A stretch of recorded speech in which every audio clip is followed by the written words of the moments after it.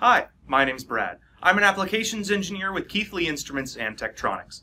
In this short video, I'll be going over a comparison between two different 6.5 digit DMMs, the Keithley DMM 6500 and the Keysight 34461A, the successor to the 34401A DMM. I hope I can help ease your decision making process.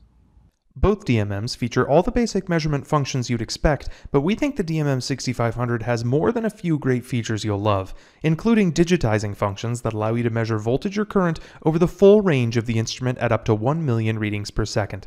I'll show you that a little later, but let's get started with the current measurement. Here I've placed both DMMs into the same circuit to measure current. We're seeing the higher resolution of the 6500 here. With the 10 microamp range, you have a minimum resolution of 10 picoamps. You can be sure of this increased sensitivity for longer as well. The DMM 6500 is spec'd out to 2 years if you need to go a while between calibrations. How about a resistance measurement? Here each DMM is measuring a 0.1 ohm shunt resistor in 4-wire mode. The DMM 6500's 1 ohm range easily gives all the details on our low resistance. The 34461A, however, is almost at the bottom of its 100 ohm range. For both of these measurements, by the way, I've manually set the 6500 to a sample rate of 10 PLC to match the 34461A, where you're limited to 5 preset sample rates. Let me give you a taste of the digitize function now, a feature unique to the DMM 6500. This is a current waveform that I just captured from that pink Bluetooth device in the corner. You can interact directly with the data using the large touchscreen and even place cursors to do easy analysis. Like determine the average current, almost 6 milliamps here. The internal memory of the 6500 allows you to store up to 7 million readings, compared to 10,000 for the 34461A.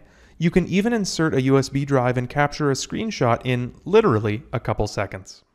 Going around to the back of the instruments, both DMMs come with Ethernet and USB support by default. If you prefer to use GPIB, each instrument has optional communication cards you can add. The DMM 6500 also accepts cards for RS-232 and Keithley's TSP link. Keithley also offers a free IDE test script builder to help you write your own scripts and send them directly to the DMM 6500 or load them via a USB stick. If you'd rather not write code, Keithley's Kickstart 2.0 software includes full support for this DMM and many other Keithley instruments in a similar vein to Keysight's BenchView and is free with the purchase of a DMM 6500. And I can't forget to mention this slot here, a unique feature on the 6500 where you can add a switch card like our 2000 scan card for measuring on up to 10 different channels. The DMM 6500 is backwards compatible with all our previous DMM scan cards.